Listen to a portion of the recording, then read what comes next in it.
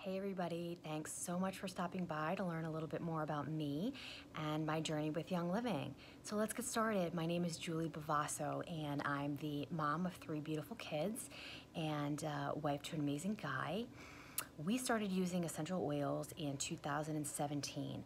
Primarily I was looking for support for the nighttime routine with my daughter and uh, at the time one of my very good friends was starting to use oils and we just couldn't stop talking about it. She had so many stories to tell. She was bringing them into work, diffusing, and um, I was so, so excited to get started.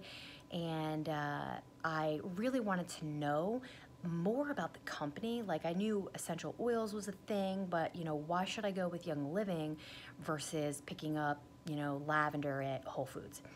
So when I started the research process, the thing that sold me on Young Living was the seed to seal process.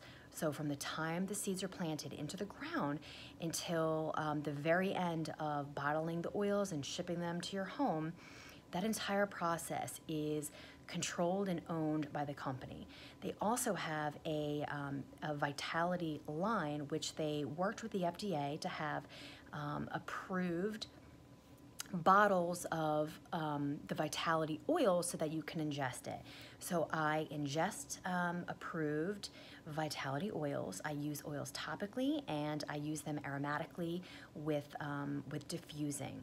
So those are the three ways that you can use essential oils.